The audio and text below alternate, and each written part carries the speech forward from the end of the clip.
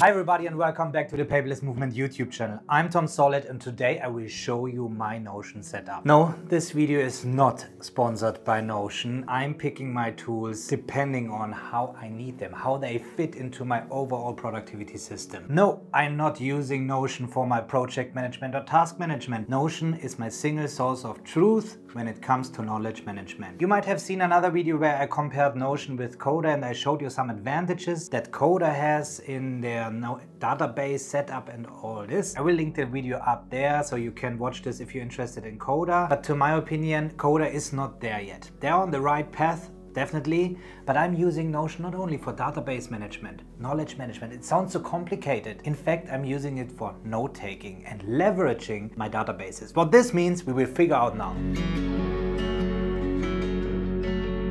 If you want to learn how to set up these databases and make the cross connection, all this that I will show you right now, there is a new online course available for my Inner Circle members where I show you in detail how to set everything up. But now let's dive into this. So we have here on the side a database section where I just collect all the databases. So in Notion it works that you set up pages and you can make these pages actually to tables and that's what we have here. So let's go for example to the software database right here. So this is where I just whenever I talk or learn anything new about a software, it goes into here. And this is when you're one of my inner circle members, you know I'm teaching the ICOR framework and setting up conventions and all this. Freeing up your mind is the solution because saying Notion is my single source of truth. I have a database that's called software. Whenever I hear any new shiny object, coming up or anybody tells me about any app. I know exactly where to note this down. And I made a video about Apple Notes where I quick capture information. Yes, I can do this there, but I don't do knowledge management inside Apple Notes. It is the input of my ICOR framework is the Apple Notes and control is Notion. So I maybe scribble something down in Apple Notes because I can much quicker note something down in Apple Notes, but then eventually it will go into Notion and it will stay there. And you will see the, lot the big advantages that we have here right now. So you see here a lot of uh, software already mentioned in this database and what we see when we click on this, you see it already here in the columns actually, but let's click on Notion and what we have here is my videos or videos in general. And you see this arrow going up here. This means that's a connected database. So I have a videos database where all my videos are in that I do for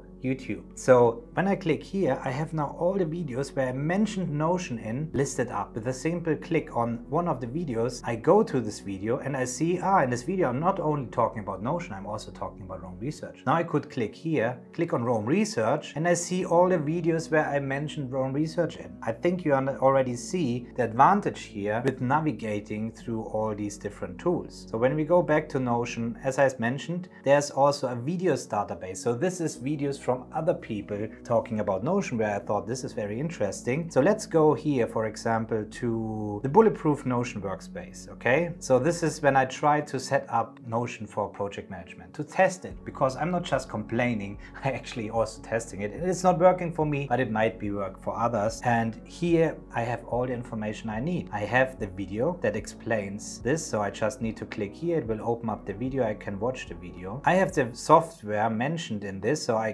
find notion.vip is also a software. And here's the YouTube channel. I have the channel owner and also here there's a roll up looking up the YouTube channel and shows me also the owner. And I can click on the owner. It will jump there and the owner actually is a person which is in my people database. And now I have this person and I see all the related videos this person actually published. So I can build up a very dynamic and interactive Wikipedia for my own knowledge. But it doesn't end there. Why Notion is also my preferred note-taking app, you will see now. When we create a new page, so I show you how to take these notes. New note. You can organize these in different ways. You can also set up a database with your notes. So you create a new note here and I start writing, talking about Notion. And instead of writing Notion, I'm mentioning Notion now. And you see by just using the at sign and starting typing, it shows me everything related to Notion. So I can now click on Notion and keep writing writing was mentioning this so I just write not I click this and keep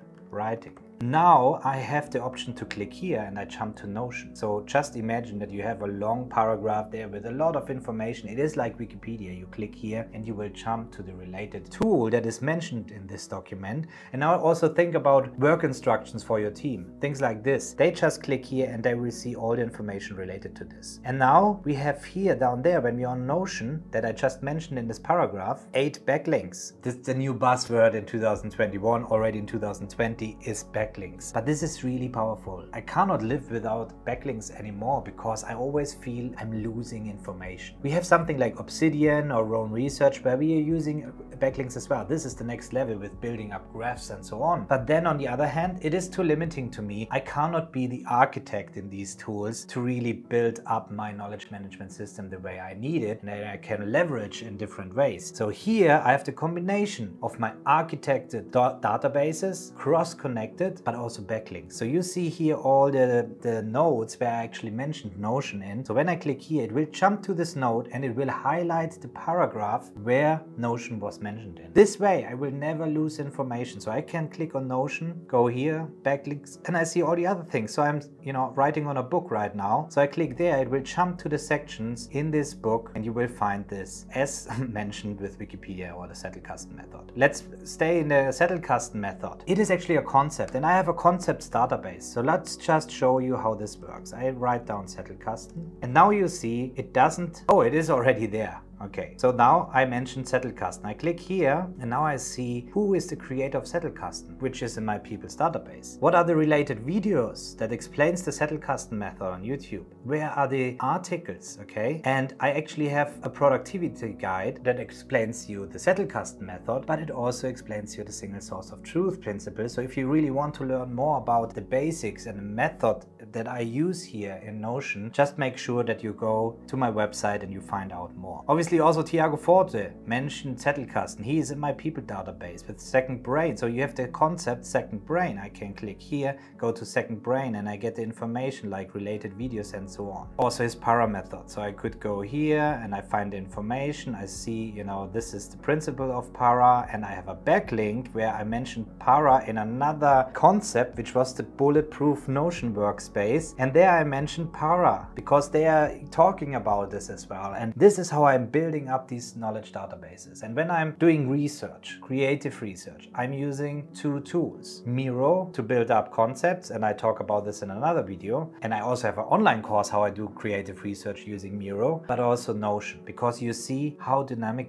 this all build up and then I have all the information you know that I can select. And the other advantage of using Notion is that I can add rich content there. It's so easy to add pictures, videos, what you like in there and have it in one place. Okay, let's go back to the software database that I just mentioned. And if you're one of my Inner Circle members, you know that I talk about the ICOR framework. It stands for Input, Control, Output, Refine. And the goal is to find tools that fit into these different parts of this of a productivity system. So what I have here, I categorized all the software by the different types. And I'm working on to make this available to my Inner Circle members, my whole database, and it will obviously building up and you will get access to all my tools here and you can then click there and get all the information out of these. But I just want to show you different ways how you now can visualize your information in different ways. So now we have here ICOR and non-ICOR tools. Then I can give this another level and say this is Tom's tool. So these are, it's not completed yet, but this is a